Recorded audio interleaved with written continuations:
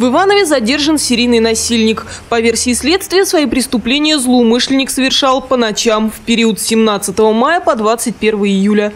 Его жертвами стали четыре жительницы Иванова, среди них одна несовершеннолетняя. Потерпевшие опознали насильника. Ведется следствие. Злоумышленнику предъявлено обвинение в совершении преступлений по нескольким эпизодам изнасилования, в том числе несовершеннолетней, э, иные действия сексуального характера с применением насилия, э, грабеж, то есть открытое хищение чужого имущества, совершенное с применением насилия, не опасного для жизни и здоровья.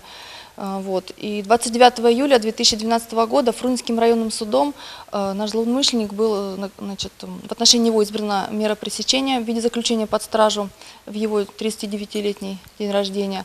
В настоящее время проводится предварительное расследование и значит, ведется работа по установлению дополнительных эпизодов его преступной деятельности.